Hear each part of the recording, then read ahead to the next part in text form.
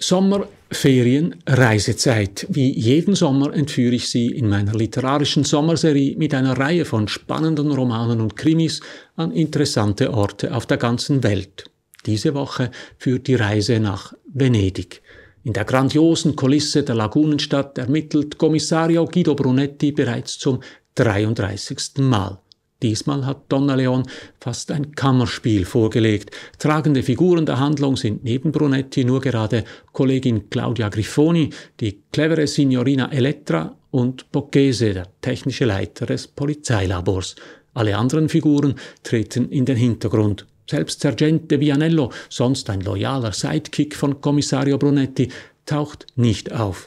Vice Questore Patta, Brunettis ewig opportunistischer Chef, scheint gar von akuter Altersmilde befallen zu sein. Anhand des Falls, mit dem sich Brunetti beschäftigt, führt uns Donnarion in zwei große Themen ein. Da sind zum einen die Babygangs in Venedig, rivalisierende Teenagergruppen, die miteinander kämpfen und dabei randalieren. Zum anderen ist es der Anschlag von Nasiriyah, am 12. November 2003 griffen im Irak zwei Selbstmordattentäter eine italienische Militärbasis an. 28 Menschen verloren ihr Leben, darunter viele Carabinieri. Einer der Überlebenden ist der Vater eines Teenagers, der in einer Babygang mitmacht. Der Mann wurde bekannt als Held von Nasiriyah. Aber war er das wirklich? In meinem 214. Buchtipp sage ich Ihnen diese Woche, warum sich die literarische Reise nach Venedig lohnt. Mein Name ist Matthias Zehnder. Ich gebe Ihnen, wenn Sie meinen Kanal und meinen Newsletter abonnieren, jede Woche einen Lesetipp. Ein Buch, das ebenso intelligent wie unterhaltend ist. Diese Woche Feuerprobe von Donna Leon.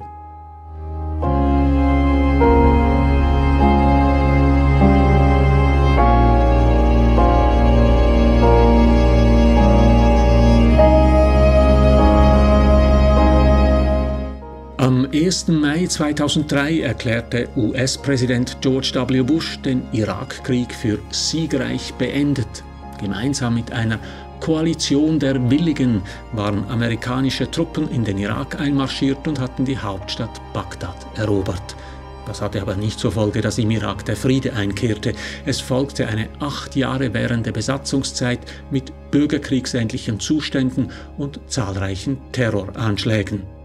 Einer dieser Anschläge war ein Selbstmordattentat am 12. November 2003 auf das Hauptquartier der italienischen Carabinieri, der Multinational Specialized Unit MSU in Nasiriyah südlich von Bagdad. Ein mit Sprengstoff beladener Tanklastwagen fuhr in den von der Armee und den Carabinieri besetzten Stützpunkt Maestrale.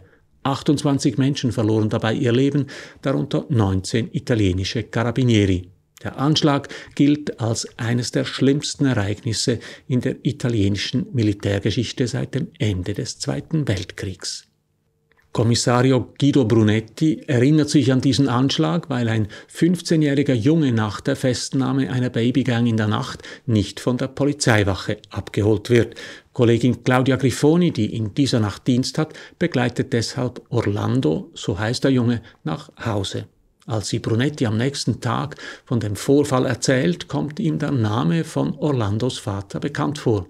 Dario Monforte war 2003 der Held von Nasiriyah.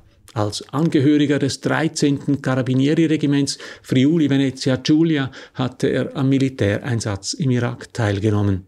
Nach dem Anschlag auf den Stützpunkt Maestrale in Nasiriyah hatte er zwei Kameraden aus dem Inferno gerettet. Offenbar hatte er sich aus einem noch intakten Gebäudeteil in die Flammenhölle des Innenhofs gestürzt und zwei Kameraden in Sicherheit geschleppt, war dann aber selbst zusammengebrochen.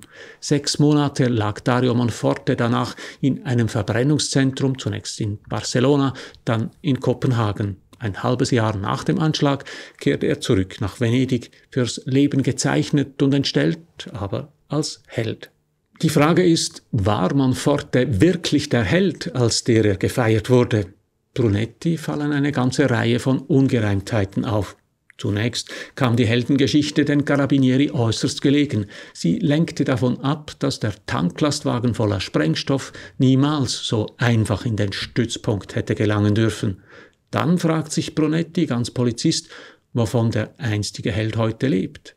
Offenbar arbeitet er als freiberuflicher Sicherheitsberater. Als Brunetti Monforte begegnet, blitzt an dessen Handgelenk Metall auf, eine Rolex Submariner. Das weckt die Aufmerksamkeit von Brunetti. Wie kann sich Monforte eine so teure Uhr leisten? Gemeinsam mit Signorina Elettra beginnt er die Archive nach dem Einsatz der Carabinieri im Irak zu durchforsten und stößt dabei auf eine Geschichte, die ganz und gar nichts Heldenhaftes an sich hat. Ähnlich wie etwa Francesca Melandri in ihren Romanen nutzt Donna Leon ihre Krimireihe, um uns mit einem düsteren Kapitel der italienischen Geschichte zu konfrontieren. Das Engagement der italienischen Truppen im Irak, die Ausbeutung des besetzten Landes, Kunstraub und der schmutzige Handel mit Antiquitäten. Und dann sind da die Babygangs von Venedig. Sie geben Brunetti Rätsel auf. Er kann nicht nachvollziehen, warum sich Jugendliche gegenseitig verprügeln, um in den sozialen Netzen Aufmerksamkeit und Likes zu sammeln. An einem milden Dienstagabend im April brach in Mestre das Chaos aus, als zwei Gangs von Minderjährigen, eine aus Venedig und eine aus Mestre, sich kurz nach Mitternacht auf der Piazza Ferretto trafen, um Hätte man einen der herbeigerufenen Polizisten oder die Eltern der Jungen oder gar die Jungen selbst dazu aufgefordert, diesen Satz zu vervollständigen, sie hätten es nicht gekonnt, denn die Babygangs verfolgten kein Ziel mit dem, was sie einander antaten, zumindest kein Ziel, das sie einem Erwachsenen hätten erklären können. In den sozialen Medien wurde geprahlt, wir sind stärker als sie, wir haben mehr Likes auf Instagram, die Jungs im Viertel schauen zu mir auf, wir beschützen einander. Nein, sie wollten nichts stehlen. Nein, sie kannten keinen von den Jungs in den anderen Gangs. Nein, sie hatten nichts gegen sie und wollten ihnen keinen Schaden zufügen. Doch sie wollten ihren Raum und die anderen nicht weniger, also musste das ausgefochten werden. Jeder hielt sich für den Stärkeren. Woran genau sich das messen ließ, konnte niemand erklären, doch alle beanspruchten die Überlegenheit für sich. Brunetti kam da nicht mehr mit, und es machte ihm Angst. Die Gangs suchten emotionale Bestätigung, Furcht, Bewunderung, Respekt. Es ging ihnen weder um Profit noch um Besitz, diese beiden heiligen Kühe des Kapitalismus. Ihnen lag nichts daran, ihre Opfer zu berauben, Häuser zu plündern, Köpfe auf Lanzen zu spießen und auszustellen. Sie filmten einfach nur ihre Schlägereien und posteten sie überall rühmten sich der Zahl ihrer Follower, die nach jeder Schlacht mit einer rivalisierenden Gang sprungartig anstieg. Sie brüsteten sich mit ihrer Fähigkeit, Schmerz zuzufügen und als Sieger vom Platz zu gehen, was immer das heißen mochte. Ihr Lohn war ebenso vergänglich.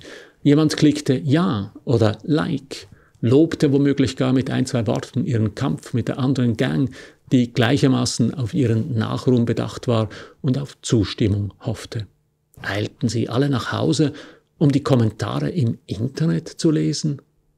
Das Rätsel um die Babygangs kann auch Donna Leon nicht lösen. Sie konfrontiert die Jungs am Ende des Buchs in einem fulminanten Finale mit der brutalen Realität. Das ist die Feuerprobe, die dem Roman den Titel gibt. Ja, was bleibt von Kommissario Brunettis 33. Fall?